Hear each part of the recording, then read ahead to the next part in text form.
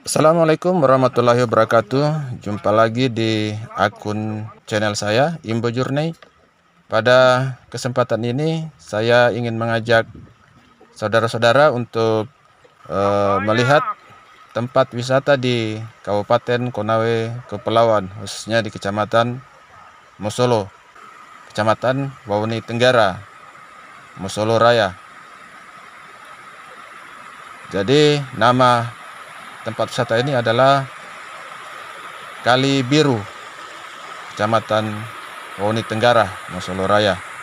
Jadi untuk mencapai akses ke lokasi di permandian Kali Biru dari Jalan Setapak kita menempuh kurang lebih sekitar 300 meter melewati kali dan hutan untuk sampai ke lokasi tempat permandiannya.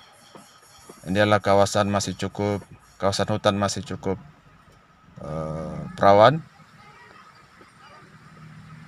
Ya, inilah lokasinya. Tempat permandian Kali Biru, Kecamatan Tidak spesial. Konawe Kepulauan.